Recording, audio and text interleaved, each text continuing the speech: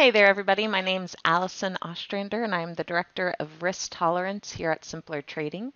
And in today's options video, I am actually going to switch gears from what I've been looking at prior and look at a potential bullish trade idea.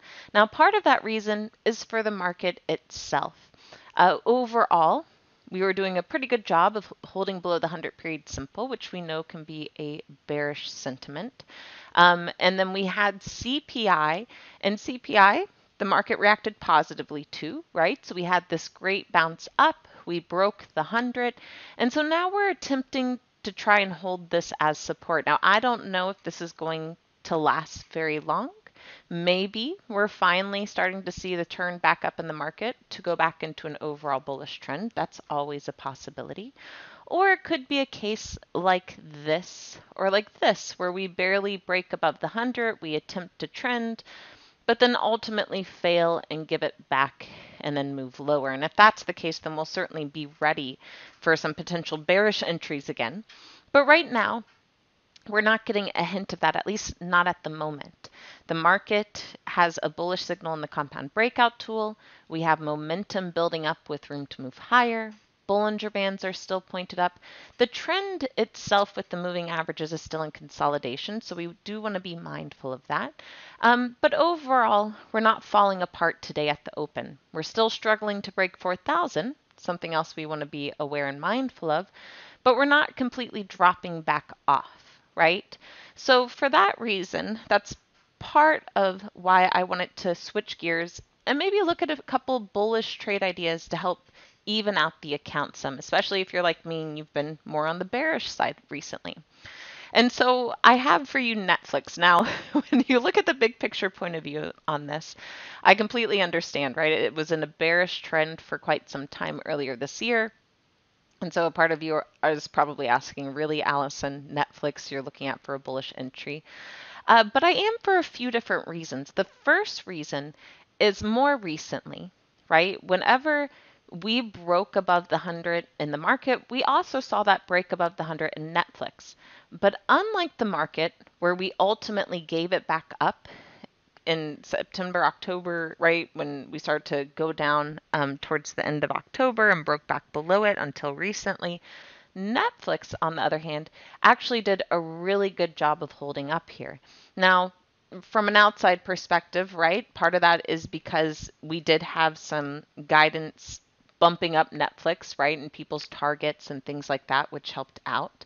Uh, there's also the case of Netflix potentially going to an ad subscription style service like we've seen a lot of other streaming services have done like Hulu in the past and things like that. And so Netflix, which said they weren't going to do stuff like that, is now all of a sudden looking at it, which of course, you know, would means potential more money and shareholders like that, more subscriptions.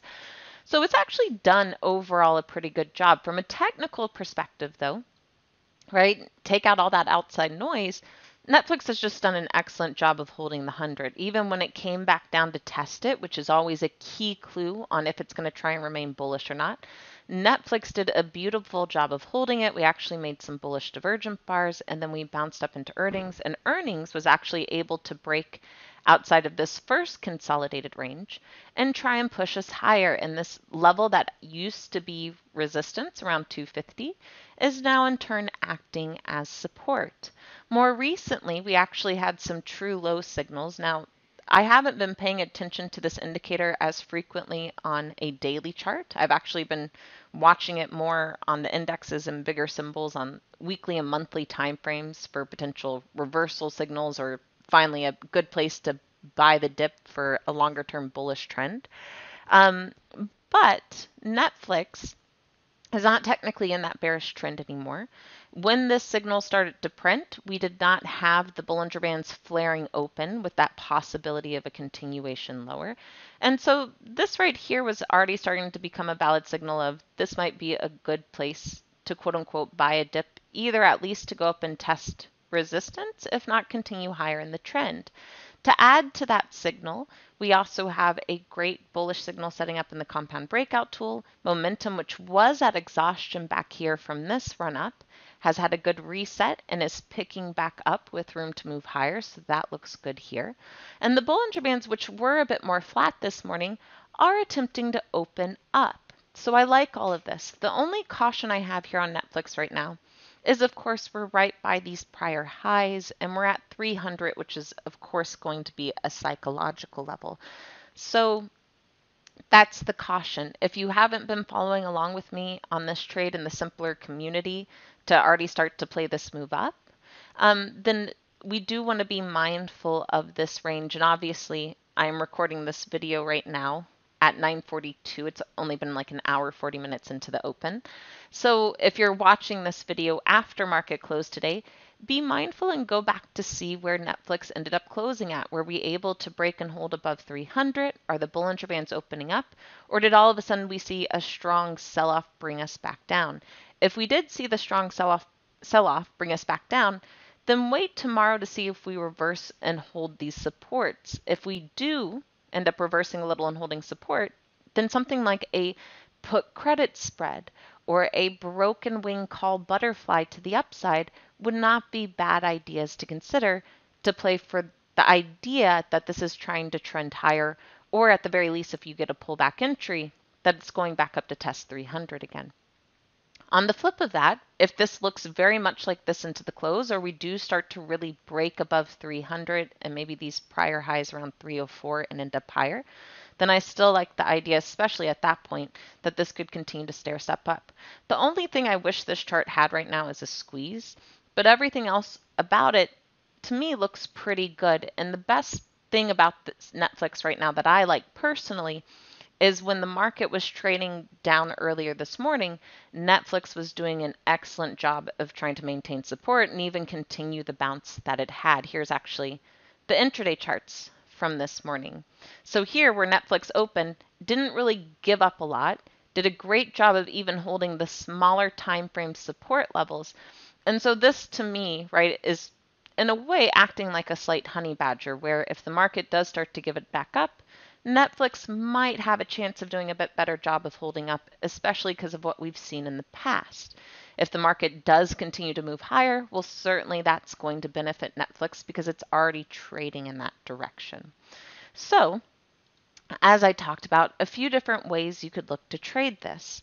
You could consider, and we've already taken a couple trades in the Profit Recycling Mastery actually, but let me switch accounts not to confuse you guys with strikes there. Um, but you could look to do this a few different ways, right? So like I mentioned, if you did get a pullback down into support, you could look at something like an at the money credit spread. I personally would not do a credit spread at 300 in case this ends up holding as a price level, right? But if you're back down near the simple moving averages around 275 range and it holds, something like an at the money credit spread would not be a bad place to go about it on the put side. Otherwise, even on a pullback or if we continue higher, I also like the idea of something like a broken wing butterfly in case the trend does continue to trade to the upside. So if that's the case, you could look at something like this. And this is not a bad risk versus reward here. 305, 310, 312, 50. Certainly if we break above the 304, 305 range, it's already going to start putting this long strike either at or in the money currently compared to where it's trading. And of course, if we're trading above this after close, and this is when you're watching the video, you can always adjust this to strikes at higher. The next bigger target after that level to the upside on this from a daily perspective, you know, around 320, I would say would not be a bad place to move up to. Let's look at the weekly chart really quickly. Yeah, weekly chart is starting to break resistance and attempt to move higher. The next technical resistance level for me here is all the way up at around 429. Let's make sure we're not about monthly. Oh, look at this, guys. Yeah, I like this to continue higher. Monthly actually has a monthly bullish divergent bar at 305.63. So let's mark that down. 305.63, which hasn't followed through yet. Now, technically, you would want to give this three bars to follow through. So, you know, if we keep stalling here in reverse, one, it may not follow through, or two, it might take a full three months for that to happen. So we do want to be cautious of that. But the reason why I think this could happen sooner than later, other than the fact that we're very close to that level, is we are at bearish exhaustion. Right? We had this strong selling that occurred. Momentum went down to the bottom of the axis below this red horizontal zero line, which is a sign of exhaustion. And now we're starting to get green bars to pull back and a pullback signal in the compound breakout tool, which of course pairs with some true lows here. Now, I don't necessarily like this myself for a bigger share buy and entry, and maybe I'll be a little late to that if that's what it ends up being because the Bollinger Bands are still technically opening down. But it could be a good sign that we're going to reverse up into resistance. And even here, we're attempting to hold back above the 100 and the 10, and our next big technical resistance level is still above 400. So I like the possibility that at the very least we could continue to chop in this range to allow this re to reset, if not continue higher. So back to that daily perspective, something like a broken wing butterfly could be a great benefit. One, it helps keep the risk low. Right now for the 305, 310, 312.50, it's only about a $1.06 cost basis, right? That's not too much capital risk for this trade idea. If we do go up to 310 by the end of the week, which has a lot of open interest around it, right? And we manage to stall there into the close, then you have a max profit potential of around 398. Let's just round this up to 105. I know it's jumping around. So 105 is our entry point, 395 max profit potential. Not a bad risk versus reward. If this goes completely in the money, that's where the forgiveness factor comes in on a debit broken wing butterfly like this. There's still actually a profit potential to it of it settling for 250. That's what the spread would be worth. The difference of the debit spread and the credit spread. So 5 minus 250 is 250.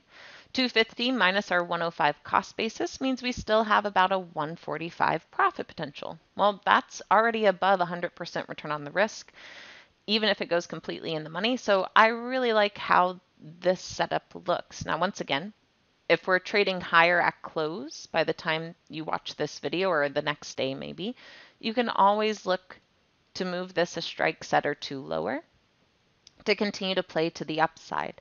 As I mentioned, if we are able to actually really break above 300 in these recent highs, and the Bollinger Bands start to flare open a bit more, which is what they're attempting to start to do, I like the possibility of going up towards that 320 range by the end of the week. So, you know, use that with your strikes accordingly here um, on the option chain.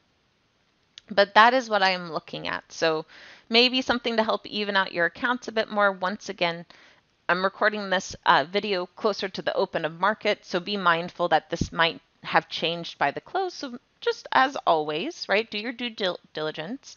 Make sure you check the chart, and if it looks like 300 is holding and pulling back, then watch to see how support holds, and then consider that broken wing butterfly back into 300 or something like a put credit spread. If we're like this or higher into the close, then I still, at the very least, like the idea of the broken wing butterfly to play for that move higher while still keeping capital risk low. Thank you so much for joining me on this video. I hope y'all have a great rest of your trading day and week. As always, may the trade be with you, my fellow Jedis, and I look forward to talking to you next time. Bye guys. Hey, Allison Ostrander here, Director of Risk Tolerance at Simpler Trading. Thanks for watching the video. If you enjoyed this video, please be sure to like and comment down below to help us out. Also, be sure to subscribe and click the bell icon so you can get notified when we release our next video. And if you want to watch us trade in real time using our own money, go to simplertrading.com to learn how to sign up. As always, may the trade be with you, and we'll see you in the next video. Bye.